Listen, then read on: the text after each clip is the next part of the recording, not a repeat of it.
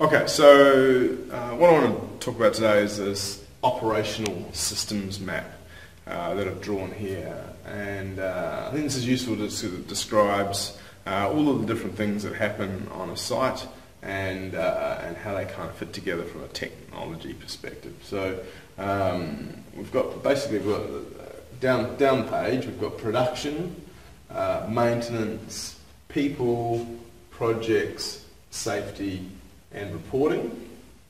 Uh, and that can be, you know, those things can be done annually, quarterly, monthly, weekly, daily, shiftly, and in real time. Uh, so, if we're just thinking production space, we tend to have uh, in the annual, quarterly, monthly, down to about weekly level, we tend to have quite large operational uh, production planning tools, which may or may not connect in with uh, your enterprise resource planning tools like an ERP, SAP, that kind of thing. Uh, but these things seldom go lower than the weekly level in granularity and they're used mainly for budgeting and long-term planning of an operation.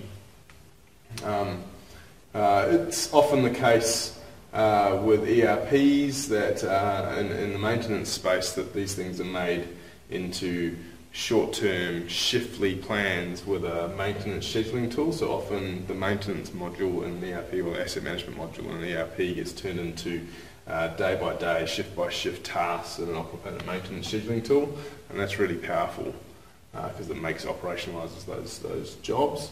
Uh, when you come to people, uh, you tend to find that ERPs contain all of the employees, but not all of the contractors. So the contractors, although they work on the site, uh, seldom inside the ERP, and so they're not really included in the plan, uh, except for from a cost line basis.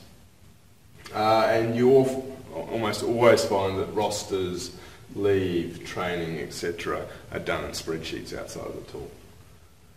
Um, coming further over, you get to projects. So you've got things like Primavera, MS Project, those kind of things. Seldom do they get lower than the week or the day uh, in terms of their granularity, so they're not useful for driving the day-by-day work.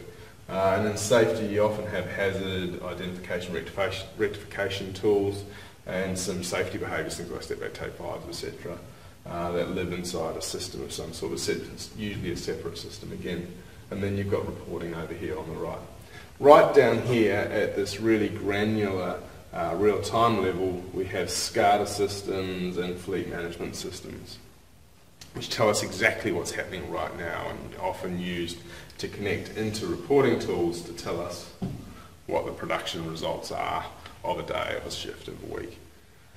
So, what we've got really in, if we're talking production-wise, we've got quite a big gap here between the weekly plan and the, the plan that's going to happen on a shift. And that tends to be filled by management operating systems, spreadsheets and whiteboards. So there's spreadsheets and whiteboards like I'm writing on that uh, people like me used to have to build uh, for uh, companies. Spreadsheets and whiteboards. And sometimes there's an interaction between those spreadsheets and whiteboards, and if there is a maintenance scheduling tool, and those tasks aren't necessarily in there. Uh, these spreadsheets, these rosters, well, to get those and this leave and this training, to get those to connect to those plans is a, is a bit of a mission with um, macros and pivot tables and all those kind of things. Uh, very seldom do you find in that plan that there's anything from the project planning world, and uh, safety can, tends to be out here on its own. So the problem is that you've got this massive gap between weekly, high quality weekly tools and high quality real time tools that is filled at best with a concoction of spreadsheets, whiteboards, and individual point solution tools that don't ever get you to a point where you can say nothing happens if it's not in this system. So you never have a single page view of your operation. So what Fewzion does is it can replace all of these tools at the front line. So it connects in to all of these tools so that you have one single source of truth for all of the work that's going to happen on a site in real time, on the shift, on the day, and on the week.